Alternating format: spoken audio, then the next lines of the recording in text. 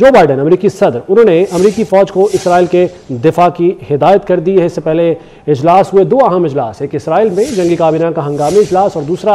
इजलास अमरीका में हुआ। तमाम तर सूरत हाल का न सिर्फ़ जायज़ा लिया गया, बल्कि इसके साथ साथ जो है वो ये फैसला भी किया गया है कि जो अमरीकी फ़ौज है वो इसराइल का दिफा करेगी।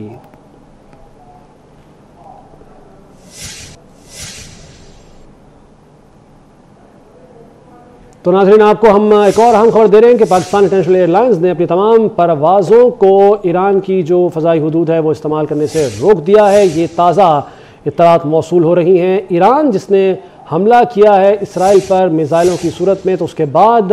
Pakistan international airlines P I A क्योंकि पाकिस्तान जो है, वो वो ईरान का हमसाया मुल्क है और जो सरहद है फ़जाई वो पाकिस्तान इस्तेमाल करता है, मुख्तलिफ़ ममालिक में जो सफ़र किया जाता है उसके सिलसिले में तो अभी पी आई ए की तरफ़ से तमाम जो परवाज़ें हैं, उन्हें ईरानी फ़जाई हदूद इस्तेमाल करने से रोक दिया है। इसराइल की तरफ़ से रद्दमल क्या हो सकता है, ये तो खैर आने वाला वक्त बताएगा, लेकिन पाकिस्तान की तरफ़ से ये